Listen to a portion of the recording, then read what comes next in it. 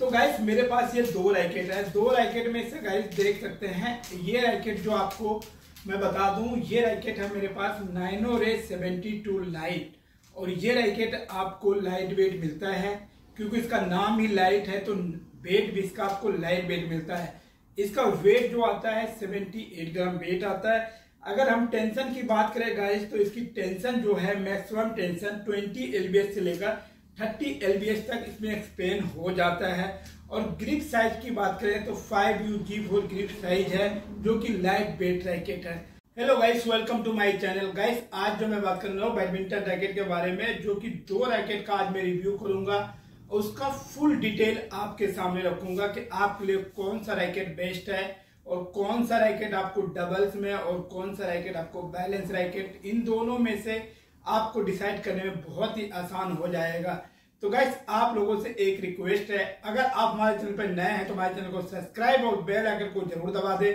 और अगर आप मेरे को फेसबुक पे देख रहे हैं तो फेसबुक पे फॉलो ज़रूर कर दें। तो चलो गाइस हम जो बात करने वाले थे तो रैकेट का। टाइम वेस्ट किए बिना हम रैकेट पे चलते हैं गाइस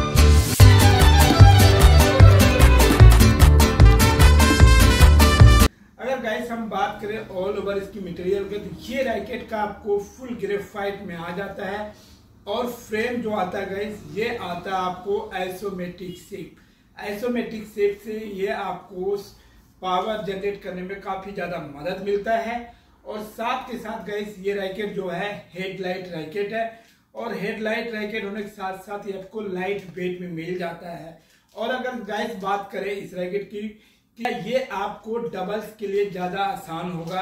डबल्स खेलने के लिए ज़्यादा बेहतरीन रैकेट है लाइट वेट है और ये फास्ट मूविंग ये रैकेट होता है। तो ये आपके लिए डबल्स के लिए काफ़ी बेहतरीन रैकेट ये हो सकता है।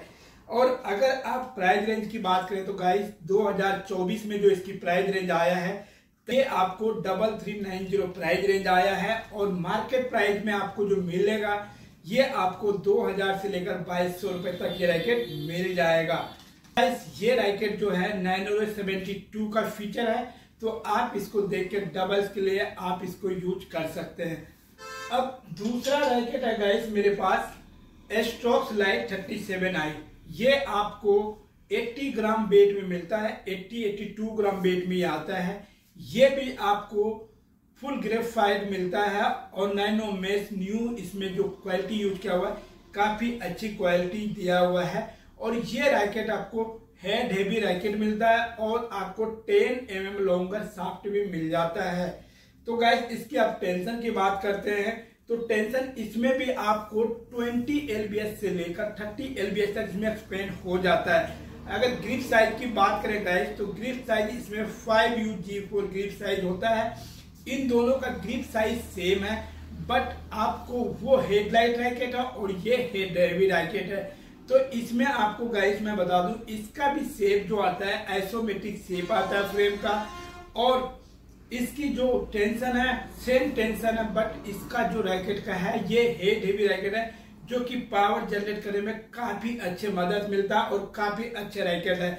और बेट की बात करें तो गाइस बेट इसमें 80 से 82 ग्राम बेट है तो उससे ये बेट भी ज़्यादा है तो इसलिए ये पावर के लिए काफ़ी बेहतरीन रैकेट है।